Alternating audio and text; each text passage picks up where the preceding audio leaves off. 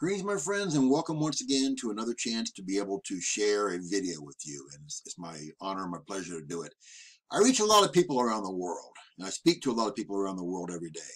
And it's uh, it's it's pretty common now for people to be afraid uh, because of what's going on with the COVID-19 virus and everything. Um, people are really afraid and, they like to have answers. And people are getting vaccinated now more and more every day. They say millions around the world are getting vaccinated by the day now sometimes. And, and they're concerned. And as this video says, as the world slowly reopens, the vaccinated will seek protection from unvaccinated. But I may have a solution. I think I really do. Let's go over things that people are talking about right now that I don't think will work, first of all. People are talking about getting an immunity passport. I don't believe that's going to work, and or like a yellow card. In the military, we had a yellow card, a PHS 731 it was called, and it had all the vaccinations that you require to enter different countries to make sure you were okay to go in there. And we had to have that. It was cumbersome though. You have to look through it and find all different kinds of vaccinations. It's a lot of work. If massive amount of people are trying to to uh, say board an airplane or try say to to cross a border or, or, or try to get into anything, it's really really hard. And plus, that can be lost. It can get damaged by water. It can be destroyed. They were so easy to get tore up. That's not going to work at all. Then you had people talking about, well, let's go ahead and try to have an, a cell phone app that we can use where, because most people in the world have cell phones. but the problem is this, cell phones, again, can be tampered with and they can be also the same with the PHS 731, the yellow immunity passport. They can be stolen, they can be lost. Um, and a lot of people don't have cell phones, believe it or not. You think everyone would have one, but a lot of people in the world don't have cell phones. So that wouldn't work at all either. And so that's not going to work. And there are other little fringe ideas out there. I won't go over all of those, but I think I've got the solution. I think I've got the solution to take care of this problem. What do people do with you whenever you go into a building or you go into a uh, a business or you go anywhere, what do they do? They first of all make sure you have a mask on, right?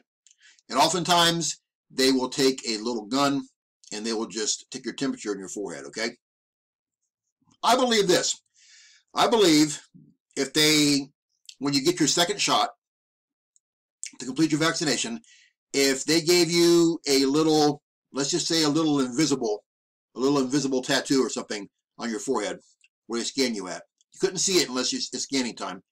And then you go, then you get ready to go into a restaurant or you go to a grocery store or you go uh, to a school or to work or you go to, on an airplane or a boat or a train or, or, or, or, or a Uber or whatever. then you got your mask on. Then all they got to do, whoever's whoever it is that you that you're being involved with, these will be spread, I think, like wildfire because everybody has them. These little guns are they only cost 10 $15 online. And all they have to do then, you got your mask on, all you have to do is just scan your forehead. And if that little thing pops up, hey, you've got the you've got immunity to the vet to the uh, to the to the virus. You have an immunity to it. Then you can go ahead and pull that mask off, go about your business. That I believe that would work perfect, don't you? And then they wouldn't have any problem at all. And those who have the mask on and they scan their forehead and they don't have that tattoo on their forehead, they just wouldn't be able to enter. Uh, they would have to just go back home and do whatever and until they got the vaccines. And some people might say, well, you know, it's going to be, that's not very fair to do it that way because uh, they're not making anybody get a vaccine. Well, here's the deal. The people who've got the vaccines are, are, are, are worried.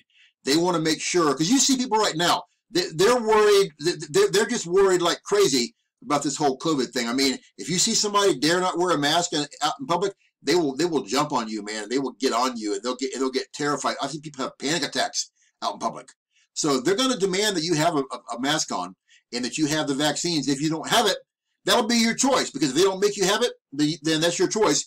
But understand that everyone around you that's had it wants to make sure that they are safe from those who haven't had it. So I think it's, it's the perfect solution. Just to have that tattoo on the forehead, scan it, you're good to go. So go ahead and let me know what you think. Uh, give me some feedback like you always do. I'm curious to know what people are thinking about all this. And I get most of my feedback on Facebook, which is cool. But it's, it's, it's pretty amazing of, you know, what's going on right now, it's just it's just incredible. This has been a long time. It's been since last December. I mean, it's been going on going on 18 months soon. It won't be long. And again, they're starting to reopen stuff slowly. They're starting to get things going slowly. And people are going to want to know who have had the vaccines that, hey, I'm not around people who are unvaccinated. And they have come up with a solution. That's my two cents worth. People can do whatever they want to do. It's their choice. I just want to throw my, you know, my um, hat in the ring. So this is a Christian channel. And if you've never been saved or you're backsliding, I've got a prayer and six vital next steps in the box below the video. Pray the prayer. Do the six steps as soon as possible. No one's guaranteed any more time in your life. We can all die anytime. We all know that it happens all the time. People around us.